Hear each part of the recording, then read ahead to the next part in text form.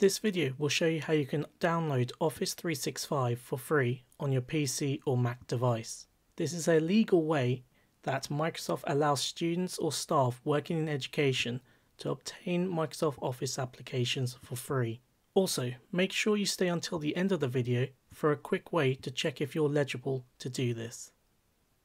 If you are a student or educator and your school, college or university has a valid Microsoft Office education subscription, you should be able to download Microsoft Office for free on your device. This will save you buying a personal or family subscription to Microsoft Office 365. Once Microsoft Office has been downloaded, your family can use the applications on your device. Depending on the education license, you are also able to download Microsoft Office onto multiple devices for free.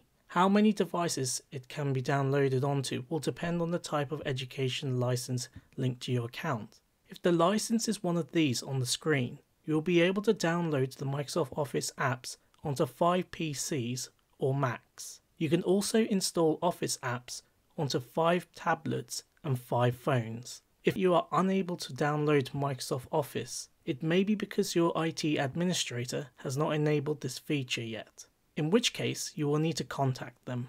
You may want to provide your IT staff with the link in the description as it will help them enable the option for you to download Microsoft Office for free on your devices.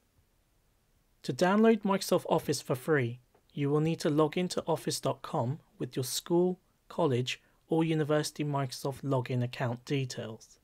From the home page, you will see the Install Office option Click on this to display the options available on your account.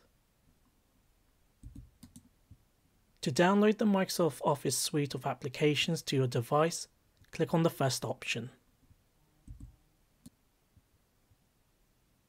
You will then need to follow the on-screen instructions to complete the installation. Once completed, you will have full access to the Microsoft Office applications on your device.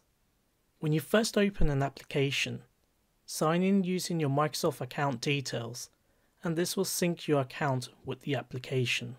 You can manually do this by clicking on your profile at the top of the application and then signing in using your login details.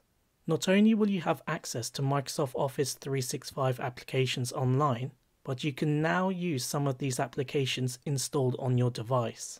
To check if you have a valid account, visit this website or click on the link in the description below.